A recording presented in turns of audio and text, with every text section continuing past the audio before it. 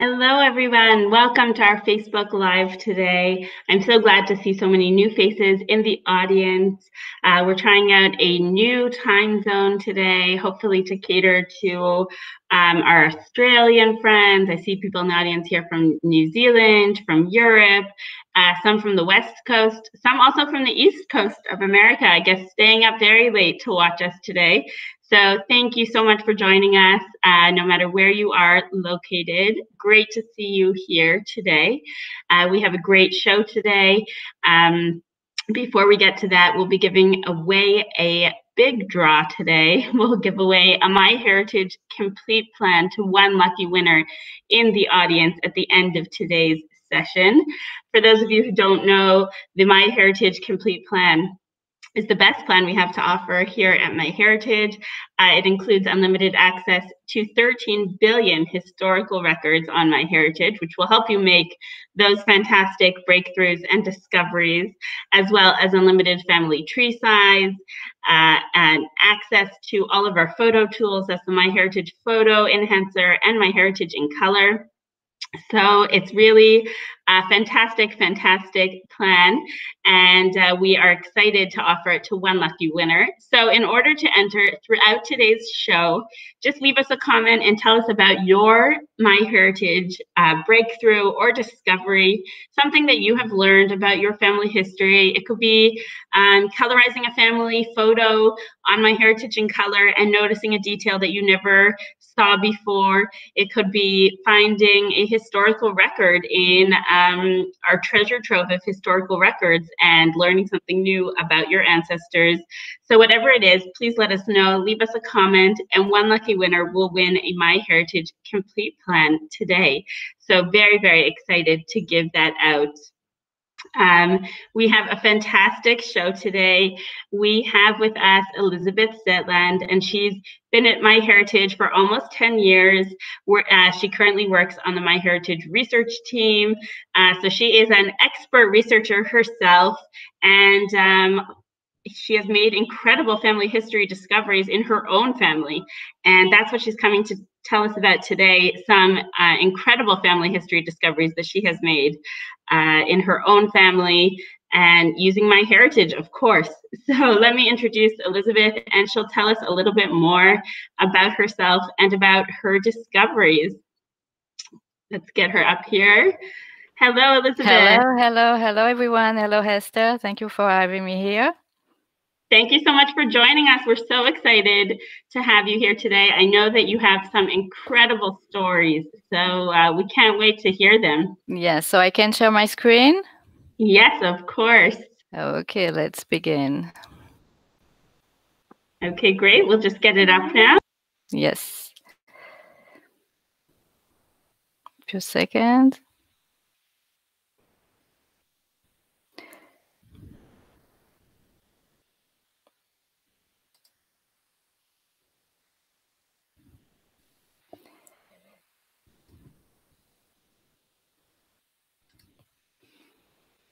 Okay, do you see my screen?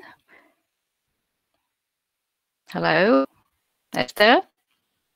Perfect, we see it now. Okay, so let's begin. Great. So yes, we'll uh, we'll have a talk today about my MyHeritage discoveries. So I think that everyone can hear that I'm French.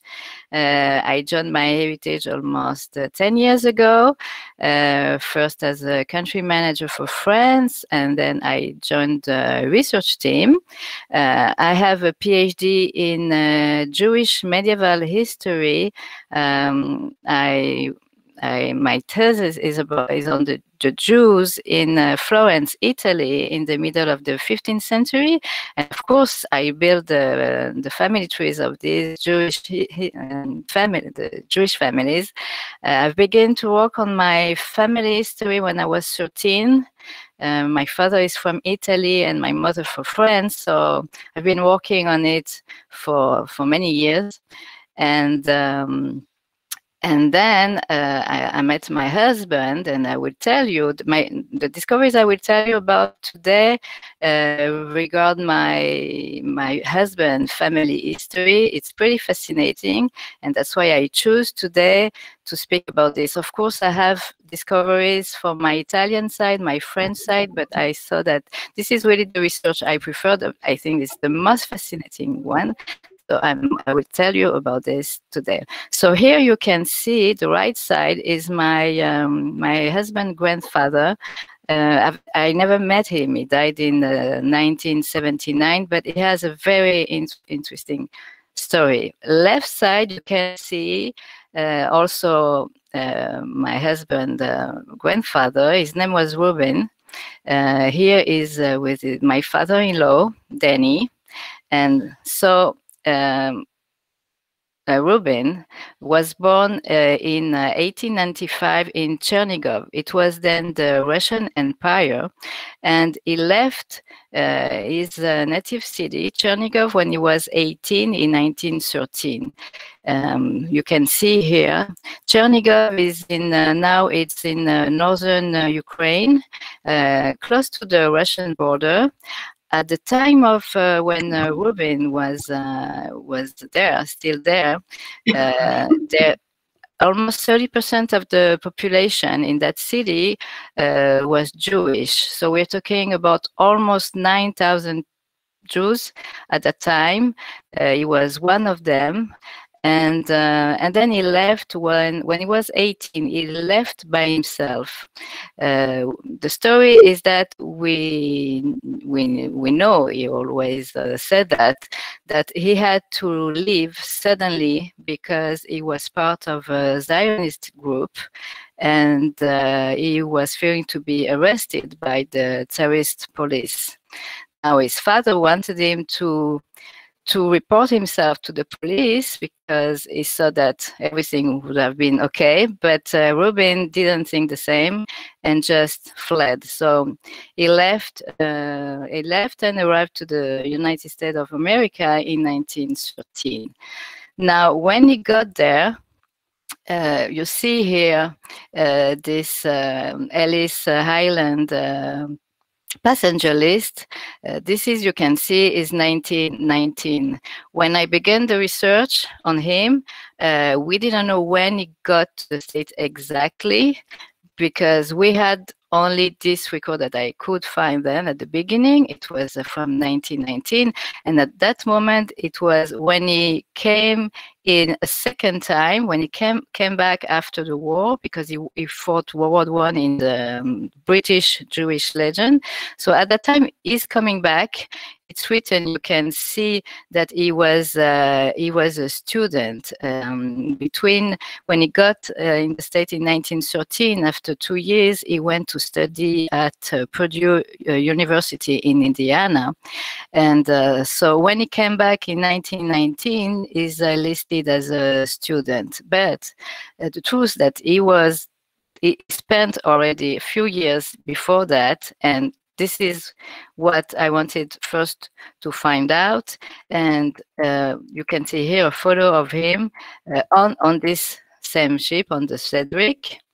And uh, so at the beginning of my research, I knew um, this, that he had one sister already in the state when he, when he arrived in 1913, uh, Bella, his uh, older sister was already there. She was living in uh, Milwaukee, Wisconsin. And he had another brother, Moshe. Uh, Rubin is the, the youngest of the family. So Moshe was older, but uh, got to the States after him, a year after, which I find that I search and I find also uh, the record uh, on uh, Ellis Island. So these are the three siblings that left Chernigov at some point, not together, separately, and uh, got to the States. Now, we, um, the, the, the, families of these three siblings were still in touch. So, from for, from for, for there, from for them, there was. Um, I, I, I, did a research, but it was uh, Uh, fascinating to find that there were more siblings. They stayed behind and and this I, I, I realized that when one day you you see this photo of the this uh, trunk this is at my uh, parents in-laws house at the entrance of their house. So i'm talking from tel aviv and they live also in tel aviv. They are from chicago. And um, so one day a few years ago i asked them suddenly what's inside? You have uh, this beautiful large trunk. What do you have inside? And my father-in-law told me, there are photos, there are old papers, I guess. I don't remember. I don't open this. Uh, I haven't opened this for a long time. Let's check. And uh, uh this, the, he took this photo for me yesterday. Now it seems pretty clean and almost empty. It looked to me like almost empty, but I remembered when we opened it, it was overwhelming because we find out many photos, uh, dozens of old photos and family papers, and there were a lot uh, in uh, in Russian, in Yiddish, uh, old photo, black and white photos that he he couldn't tell me. There were people he, he didn't know who they were, and he was he was keeping saying, "Oh, I don't know how all this got here." so, so I spent. It was like you know Christmas uh, for a kid because uh, suddenly I realized that it was a treasure trove, and I had a lot to do. I spent days, weeks, months only to um, to check everything, uh, especially because because a lot of papers were in Russian and in Yiddish, and unfortunately I don't speak Russian and I don't speak Yiddish. I had to find also people to help me understand what was written. So it was a very long uh, work for to decipher and to understand everything. So I it was incredible what was inside. So it was there were family papers, there were photos, and there were also tapes. And this way, I find out that my someone in the family in the 70s uh, interviewed my um, husband grandfather Rubin uh, about his family life, and it's almost four it's it's four five hours of him talking about his family life now it took me uh, it took me a long time to get uh, these these tapes on a digital file. Um, the the sound, the audio is was terrible. So after I had to give it to a professional to enhance the quality of the sound. So it, it took a while. Uh, it's still very unpleasant, very not easy to listen, but I got a lot of information from from these tapes also. So so this trunk was like Christmas, you know, it's Christmas for a kid. It was amazing. Still my my best uh, discovery uh, in terms of material like this. So for example, uh, we find there uh, Rubin's uh, first ticket when he left Bremen in 1913 uh, for the first time, so from Europe to, to the States. We find a school certificate in Russian from 1911. We find his passport when he left Russia in 1913. So I don't know if you have seen uh, such a passport, but there are a lot of they have a lot of pages and so it's really fascinating it's very interesting in our case because the family name now is zetland but of course it's not the original name and i think it was the first time for the family that uh, how to spell clearly the name and to pronounce it in Russian. So it was a major discovery. Here, um, there, there are also a lot of army papers because, as I said, it was in the British Jewish Legion in World War One. There are a lot about this. Um, when he came back uh, after the war, he went to study at the University of Notre Dame in um, Indiana. Before, as I said already, he was um, a student at the Purdue University, also in Indiana. He studied uh, literature and philosophy in both uh, universities. And then there were a lot of beautiful old and uh, black and white photos that we didn't know. And my father in law also could recall that he had siblings that stayed in that stayed in Russia, but it was not clear. He couldn't remember the names or the stories. It, it it was lost in the family memory. So Fortunately, some of them, there were names written. So I could understand immediately that uh, we were rediscovering uh, faces, lost faces of the families, and there were Rubin's siblings. So was here Volod or Tivia or Nelia, and this this was written that he was a nephew. So all many photos, and it was it was fantastic. It was overwhelming, and uh, I spent first um, few weeks taking the time to check everything and to process everything. And here is the, the last one that I'm showing you now is a photo of uh, Rubin's parents. It's the only photo that we have, um, Chaim and uh, Dvora. So it was really wonderful just to open this trunk. Now, after it was even more interesting to begin searching about these uh, people. Uh, I you remember I showed you before this uh, record from Ellis Island when uh, uh, Ruben came back after World War One.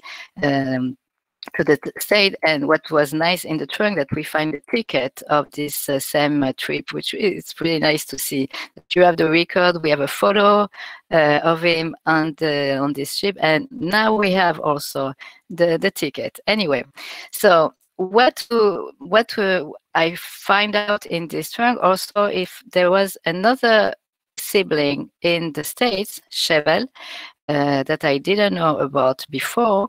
Um, he came from uh, Chernigov in uh, from Chernigov to the United States of Amer America in 1914, so a year after uh, Ruben. And um, he was uh, apparently very active politically against uh, the Tsarist regime, uh, apparently ended up in jail. Uh, he was really a tormented soul, soul for what I could understand in the in a book uh, he wrote. He he, wrote this uh, play that you can see here photo.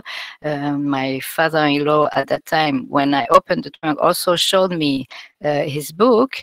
Uh, you see the photo in the middle. The, the book now seems um, in better condition. I gave I gave the the cover to a paper restorer to because it was it was kind of falling apart.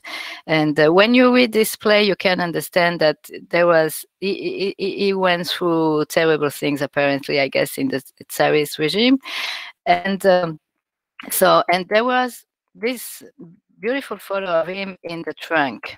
So I began to first doing a research that was the easiest because it was uh, in the in the states. But yesterday when I was preparing this uh, presentation, uh, I went on uh, my family tree on MyHeritage and I click. You know, in the profile you, you have this button, uh, research this person, and um, I clicked and I saw a record match uh, that I haven't seen before and uh, click the link and just saw that there was a um, the copy a copy of the book and which is very nice uh, that there is a, a, note written by by Shevel, which for me was amazing to discover this yesterday because uh, we have a copy, but he, uh, nothing is written by him. And here there is something very interesting that the first time uh, he published um, the, this book under the original family name Titulonok, but here I saw for the first time in parentheses he wrote Sam Zetland, which is pretty new for me, for us.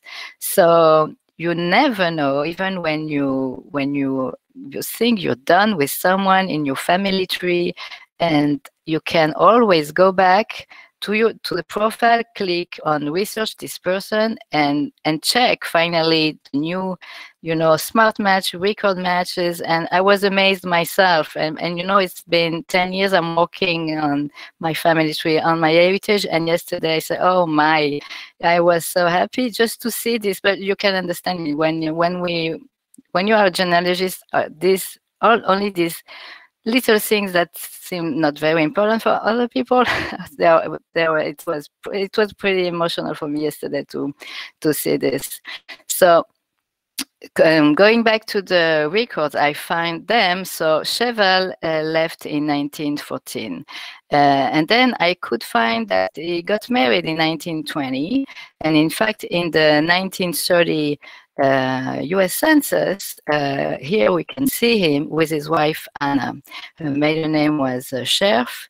So they, they've been married. They were living in uh, Milwaukee. Unfortunately, 10 years later, uh, he was uh, he was uh, in a mental institution, and we can see that he was already there in 1935. So it was. I did um, quick research and could find this postcard. It was in this um, in this hospital. When I spoke about this with my father-in-law, he told me that in fact he never met him, uh, even if he died when he was 12. Cheval died when my father-in-law was 12. But um, he remembered that once his father mentioned that, yes, he had a brother that was not well. Uh, he didn't, he didn't, he didn't know, he doesn't, he didn't know more than that.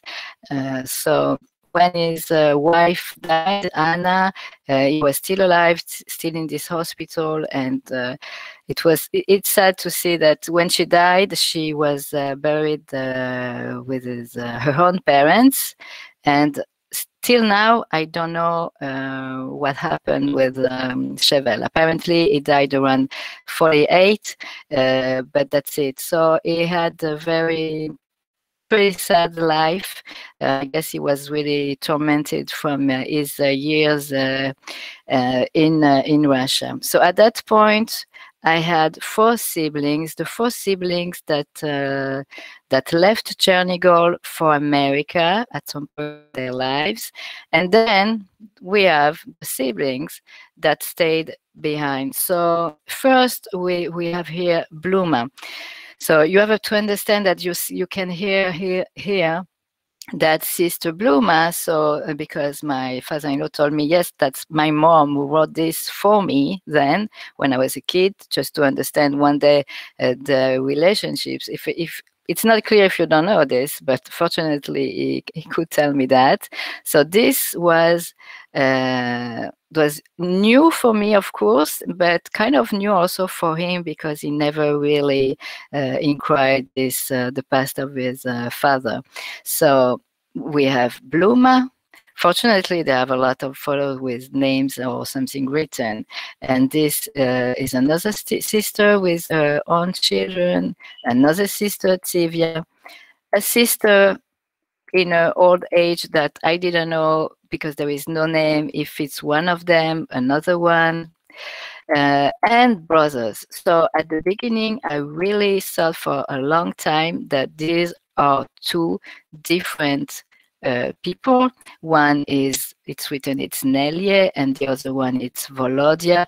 Uh, it took me uh, to uh, listen the time to listen the tapes when uh, and Ruben explained. I mean, tells the name of all uh, his uh, siblings that I realized that there were only one brother uh, left that stayed behind in Russia. So this these two follow is the same uh, brother, and his name was uh, Volodya. I still don't know this Nelie, what was a kind of a nickname, I guess, um, in Russia.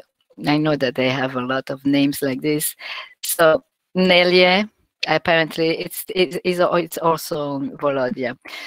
So at this point of the research, I had all these nine siblings with five in Russia that and the contact was completely lost at that point. So I decided to track them down and it all began with Tivia. So we have these two beautiful photos of her uh, only two, but they are really nice. You see that uh, on the right side, she's holding a baby in her arms, and uh, the man with the glasses is is, is her husband, and uh, and sitting is uh, Cheval.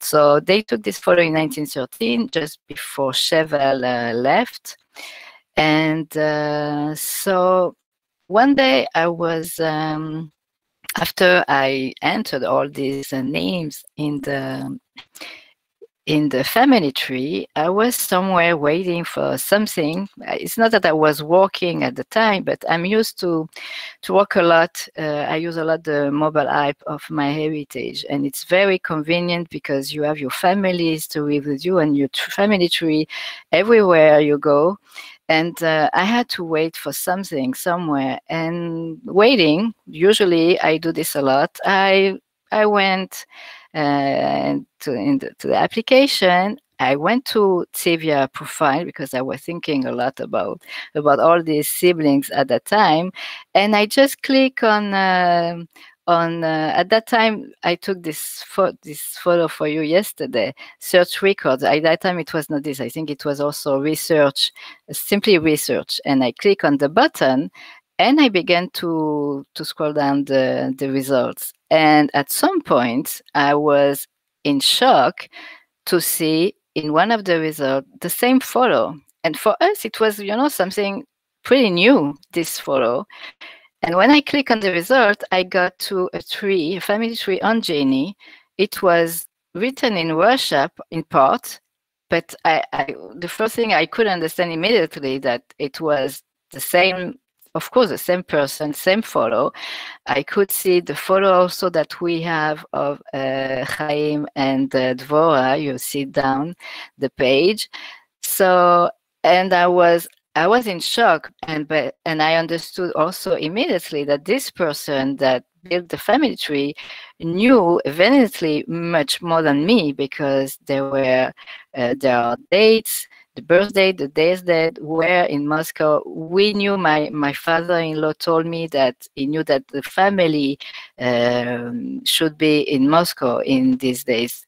So of course, I contacted Anastasia immediately, and it was like, it was incredible because, of course, she built her family tree in, from Moscow in Russian, hoping to to recognize with cousins and uh, out of uh, Russia, and it was incredible. We spent really uh, months that we were on a um, daily basis and in contact. It was not easy because she doesn't speak a lot of uh, English, and I don't speak uh, Russian, so it was not easy. After I have to say, I began to, to study Russian, but it's very difficult. So at least I learned, I learned to to read the letters, and it's uh, it's it's very helpful when you do a research that you don't know the language, but at least you can you can manage to read the name. So I did that. But anyway, it was it was pretty uh, emotional to reconnect uh, with. Um, with this uh, branch of the family. So they are in Moscow. What she could tell me is that at that time, fortunately, uh, her own mother, Anastasia mother, could tell me about another sister, and she and we have in the trunk that I showed you before, we have these two photos, and it's written that it's one of Ruben's sister with no name. And she could tell me, she, um, Anastasia mother could tell me that uh, that's Tsira when she was old with her two children, Raisa and uh, Abraham Dobratsky, and that they both died childless. So at the end, at, at that point for Tira, I knew that the branch was closed and that my research for, for Tira was kind of over. So uh, I kept uh, focusing on these three siblings and I decided first to focus on uh, Bluma. I was lucky enough uh, someday to get um, um, a smart match. But first, I'm showing you this is Bluma. So, and uh, we knew because listening the tapes, uh, I knew that uh, she married a cousin of her own mother, that his name was uh, Potapovsky, and that she had two sons, that one was Volodya and one was Boris, and I didn't know for the other two. But this photo of this uh, nice um, guy is uh, Volodya, is Vladimir. So this is what I, I had. And uh, one day I got a smart match. I got a smart from um, from the Potapovsky side, uh, a Russian uh, user of MyHeritage, and um, I saw that he had a lot of a big tree. So I contacted him and I explained uh, about my research and who I was, that it was for my husband, a family side, and uh, lucky enough, uh, Vladimir Palais, which is the user, uh, not only a MyHeritage user, is a professional genealogist. So you can imagine that he have he has a big tree. It's very detailed, very well done and organized. And uh, so I began to navigate in his uh, family tree. Uh, because of course I became a member of the family tree, which is which is very useful because when you are a member of a family tree, you can go and and check uh, at um, at ease the family. So I was checking what he has. It he has he didn't know a, lot about the Tsitlionok side because uh, he knew that uh, he couldn't find. He told me that when in 1993 he went to Chernigov to search in the archives, he couldn't find uh, the branch of uh, Dvora, Rubin's mother. So he had nothing about this uh, this this branch. And suddenly I could give him a lot of information, and he could have them in his family tree. Now, what I wanted is it's about Bluma because I knew she married in her mother's family uh, a cousin, Potapovsky. And uh, so I began to, to, to check his own family tree. And, and there was a Bluma, daughter of Chaim, married with a Potapovsky with four sons. But it was not more, no more than that. And I couldn't be sure that uh, that it was her. But at some point, thinking and rethinking, I decided that uh, uh, this is this was my only lead. So fortunately uh, enough, uh, Vladimir, so the genealogist, added a few emails in the descendant profiles. So I decided to write to some of them uh, explaining my my my research. So and then a great granddaughter, Olga, so a great granddaughter of Bluma, replied.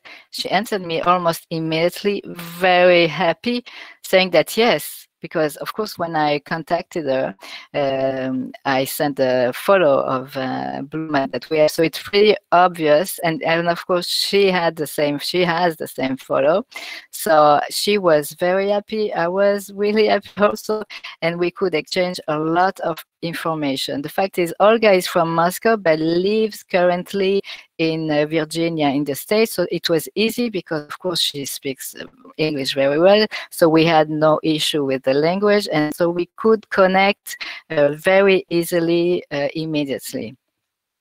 And um, so and this way I, I learned something you know it's it's it's always funny when you make this kind of discoveries that uh, she told me that part of uh, descendant uh, are of course in Israel and they live a few miles away from uh, from us. So we could uh, we met them almost immediately uh, in in Israel. So to to to help you to understand the connection, you can see, you, you know, I'm sure you know this uh, very useful tool of the relationship report. When you click on family tree, you go down in the menu, you click on it and you you enter the names of two people and you get the, the exact relationship. It's very useful when you have a lot of people. So here you can see there is Bluma and there is Rubin. Uh, so she had one son, Boris, uh, and uh, Rubin had one son. He had only one son, uh, Danny, my father-in-law.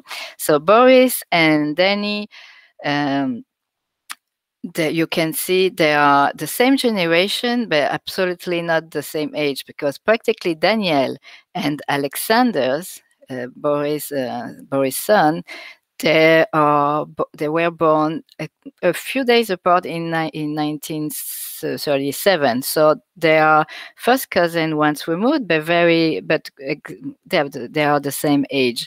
So we connected with. Uh, with them immediately. Uh, Alexander is Olga's father. So Olga is in Virginia and Alexander is in Moscow. Um, and uh, in Moscow, there is also Katya. Katya is uh, Olga's daughter, and uh, fortunately she's an english teacher so that was really really useful. And um, that was in in november. So in um, in uh, september 2016 uh, i uh, i reconnect with uh, blue um, with uh, descendants anastasia. And then in um, a month after, I got a smart match with Vladimir Paley, the genealogist. And then a year after, so this is uh, November 2017, I uh, uh, we I connected with um, Bluma's descendants that you can see here, thanks to thanks to this uh, last discovery. Now, at this point, it was in November, we were so excited. I was so excited, all, almost all, all the time in contact with them, that when my husband asked me what I want for my what I wanted for my birthday at the end of March, uh, I told him I want to go to Moscow to meet your new cousins.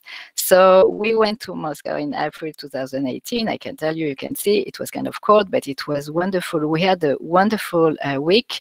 Uh, they didn't let us to go to the hotel. They they wanted to us to to stay at their place. They have a wonderful apartment in central Moscow, two stores. So it was it was wonderful. We had a wonderful week. You can see in the middle my husband and Alexander. So it was uh, pretty emotional. The funny thing that we discovered that we find out when our, when we were there is that um, these these families of different siblings, even the ones staying that stayed in Russia, they lost contact between them decades ago. Um, and then uh, when I I thanks to this research, practically the, the families of Bluma and the family of Tsivia could reconnect, and uh, and we met all together at Alexander, and and we we we find out this way that they were living two streets away without knowing after have lost contact after having contact uh, for for decades so that was pretty nice you know it's the beauty of uh, family the family history genealogy then at that point, I had two siblings that, uh, to track still to go. So Volodya and Dinya. And then I began to be obsessed with uh, with this one, Volodya. So listening the tapes, um, I knew that uh, Rubin called him also Zehev, Wolf.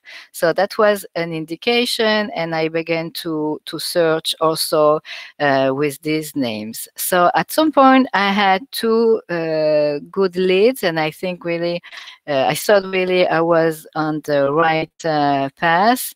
I find this grave on um, Jewish uh, grave. You see Zev Wolf, Ben Chaim, Tzitlianok, and uh, and everything was matching. And I found also this uh, record on the Yad Vashem um, site, and I thought also that this could be him. Uh, you have to know that the Jews in uh, Chernigov uh, had to escape because of the Nazis in World War II. Those who stayed were all killed, and unfortunately, some of them uh, uh, were uh, evacuated. So I could understand. I thought if this is my guy, my the Volodya I'm, I'm looking for, so apparently all is good, and no one was killed in the family.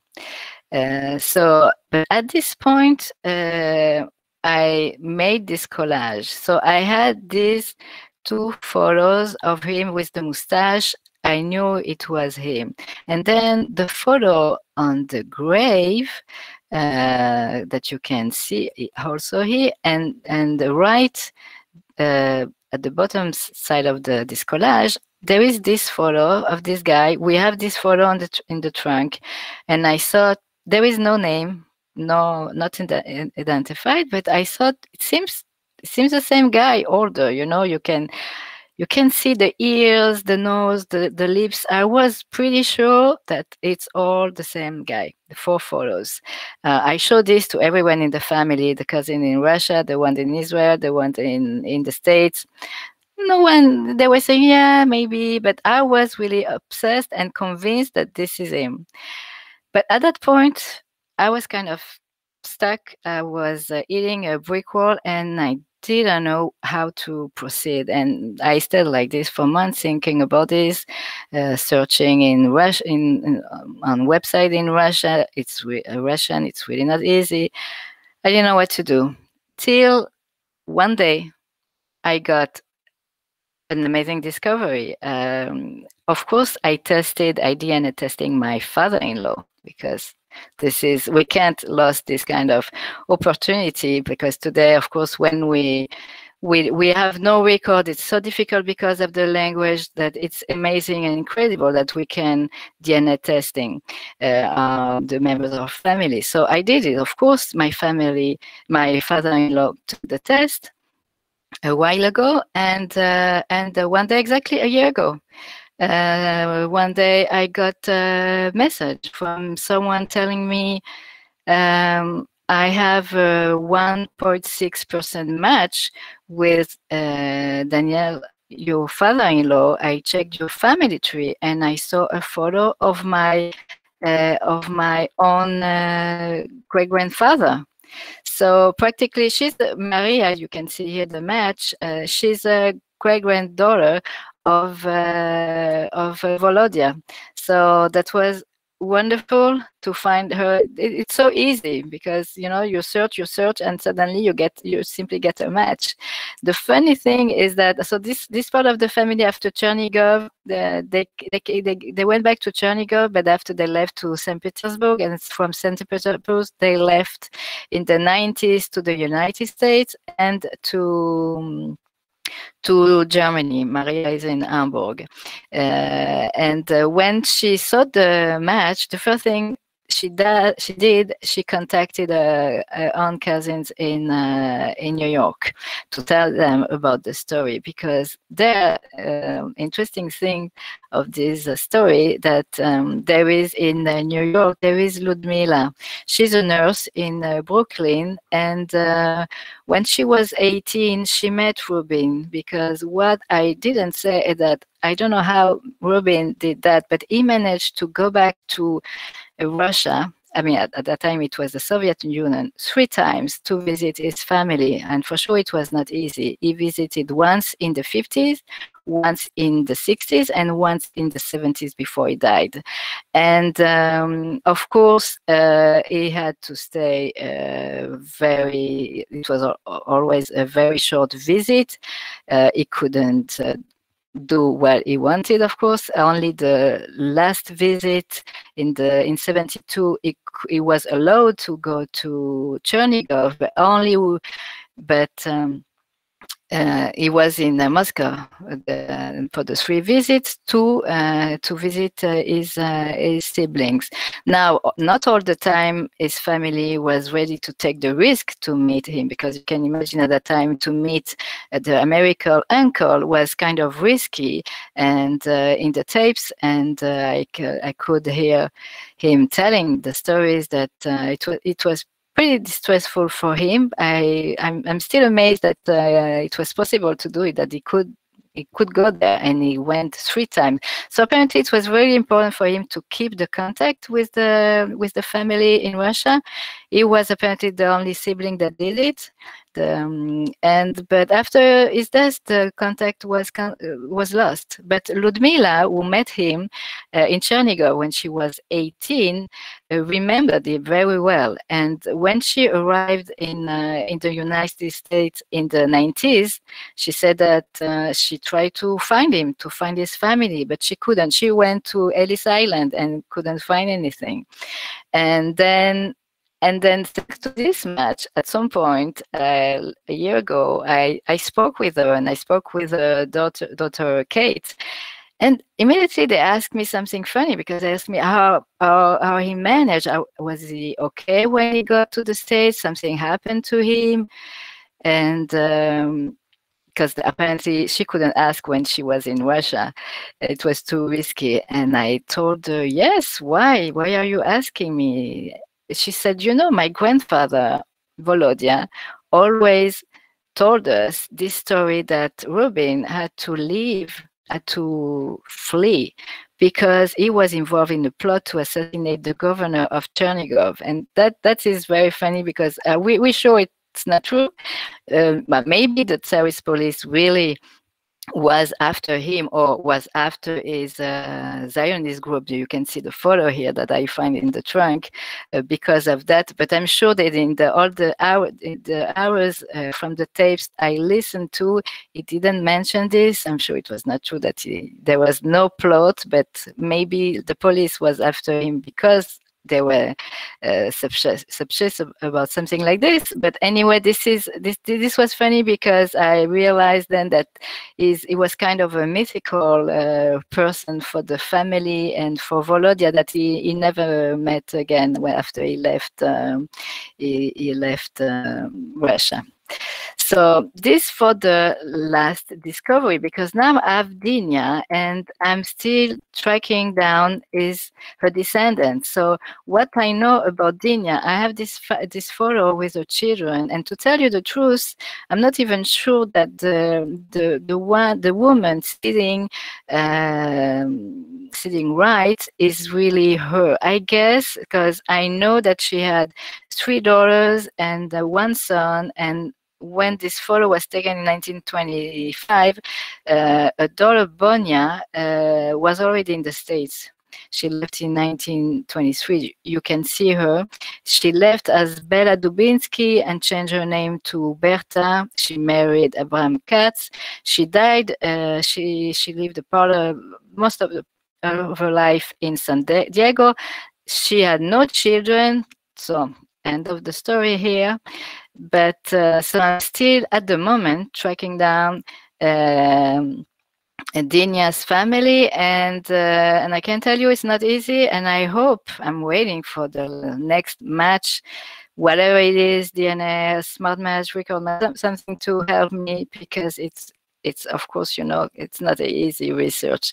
But i'm getting information from people that uh, could uh, reconnect with uh, cousins uh, thanks to MyHeritage family trees. And i'm and i'm getting more information that you can see i'm adding here uh, in family trees. I have some names especially this one vitali Reznik that uh, is apparently a grandson of Dinya's, and I'm I'm hoping uh, I will find him soon.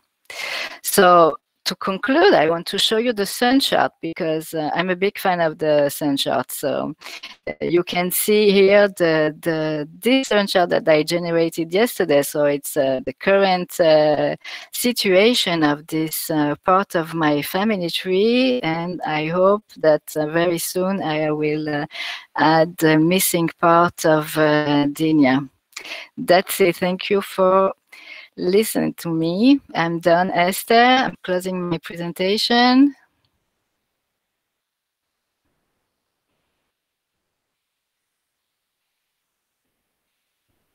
Thank you, Elisabeth. And that was so um, so moving to see that story and all the different pieces fit together.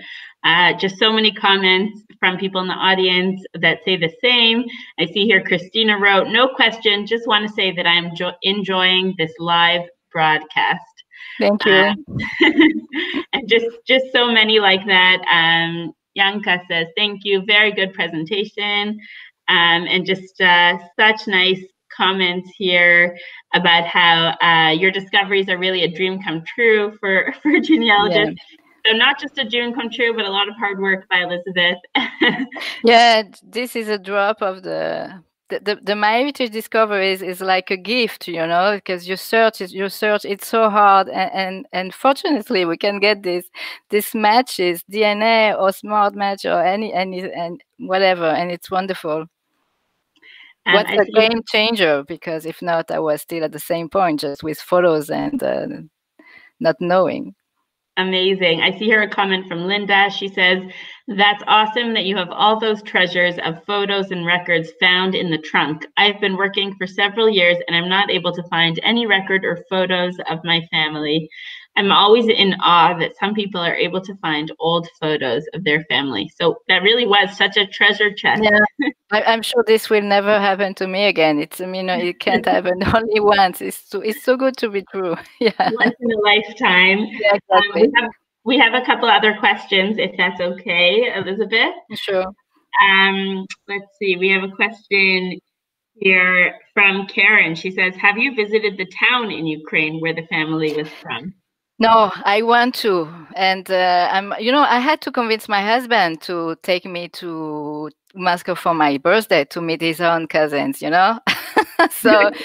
so no i want i really want to i'm always the you know the first one to do these kind of things my father-in-law and uh, he's, he's kind of interested but he's not uh, he's not dreaming of going there i can tell you it's, it's, it's weird to me to think about this, but it's not. But I really want to go. So it's uh, we plan to go back to Moscow uh, to meet the family again. Um, and the idea is to find Dinia's family and to organize a family reunion with all the yeah. the descendant siblings. So we are waiting for the, the last discovery, MyHeritage discovery. I'm sure. Wow, incredible. Um, we have a question here from Carol. She says, what is your advice for genealogists who would like to tell the story of their discovery, especially when putting your images together in a presentation? This presentation has been most engaging and enlightening. Um, I'm I'm glad to hear that. this is really true. That when we love genealogy, we can also listen to people telling their own family history and researches, and it's always fascinating, and it's always give new tips and new leads and what to do, how to do. It's always very interesting. So I'm glad I could can could contribute in my own part this way with my French accent. and do you have advice for how to tell the story chronologically or or uh, in a different way according to the family tree? Um, Carol wants to know if you have advice for telling her story. Well, this depends of the story itself you can see here because of the descent, uh, uh, there were several siblings. I choose to show quickly the siblings that stay in the that were in the USA, and then to to focus on the ones in uh, that stay in Russia. And I did I did chrono chronologically according to my discoveries but I don't know if there is. I think it depends. It's different for every story. Yeah, I mean, I'm a historian, so I will tell you that to follow the the timeline, but not sure it's the best for every story. Okay, we have a question here from Gail, and she says, I would like to know why my paternal great great grandfather entered the Civil War as Joseph Moore, but when he mustered out, he went by Joseph Moore Taylor. I don't know anything about him except these names and that his wife was Eliza. Do you have any tips for for researching? Hmm, good question. I so name no... changes, name uh, I, I guess name changes is a big a big topic and I'm sure something that you've encountered in your research. Yeah, I have to say, not in the time of the Civil War. So I'm uh, really clueless just thinking like this. I don't know what to say. Uh, interesting. I would have, I would need to see the records and and know more the story to understand what happened there. It can be really a personal story and not something that uh, that was happening. It, it's an interesting uh, question, by the way. Did you and did you encounter name changes? Well, yes, because uh, with my, my my my own name now as a married woman, Zetland is is a name that they invented, and, and we don't know the story, and this is is is really hard for me not to know because. Mm-hmm. And it's uh, my name is Zetland now, and I find that in this trunk that the original name is Tsitlionok, and we know that at that at some point some one of the siblings in the United States decided to be more sound more American and they choose Zetland. Why, how, when, and which of the siblings? We don't know but it's fascinating. But it's very personal. It's really the story of this family and uh, I, this i guess it happens a lot for for the, in, in, the states yes. I'm sure. Yeah i'm sure. I'm, I'm um, glad they changed because it's really easier zetland than Tsitlionok. Definitely easier to yes. pronounce. um, we'll just take one last question before we give away the prize for today. Um, Carol says, My earlier question was about photos. How are you now storing and preserving those precious photos that you found in the trunk? All those photos. How do you yeah. make sure to save them and preserve them? You know what? They are still in the trunk.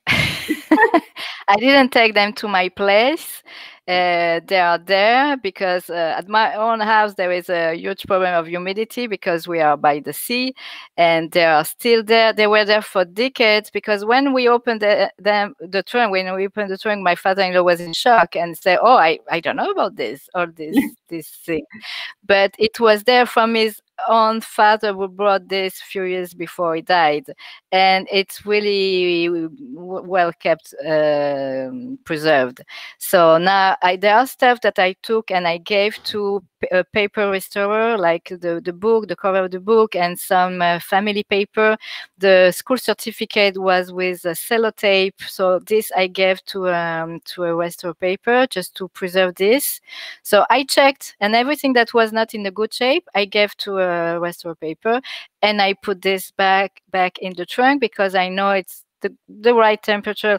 I mean, my husband, you know, is a furniture restorer and he works with paper restorers. So I trust him if he says that this is good. It's it's the it's the it's the good environment. Not to touch it. Always after my kids and my husband, not to put fingers on the photos and not to touch uh, the records with, you know, to protect them. So yes, be be careful of that. Wow, wow. Yeah, you want to make sure that uh, you can keep them for generations to come. That's the idea. Yeah. Yeah. Did you uh, did you scan them in? Did you scan them? Yes, of course. yeah. I charged my it was a huge work and my my father-in-law is retired, so I gave them it's it's it's at his place, so he had to do it. you gave him work. exactly. At least, yeah. Fantastic, fantastic. Wow, what an incredible, incredible story. Amazing discoveries. And, and I'm so glad you could share them with us today. Um, and now we'll give away a MyHeritage Complete plan to one lucky viewer. So uh, one of you will have access to all these tools that Elisabeth used in her discoveries, and we hope that uh, they'll help you advance your family history story uh, just as much as Elisabeth's. So the winner of today's complete plan is, uh, let's see, Carolyn Trezona. And Carolyn wrote us, I'm so excited to use your color enhancing. I've only had a black and white photo of my grandparents. Thank you, MyHeritage, for bringing them to life.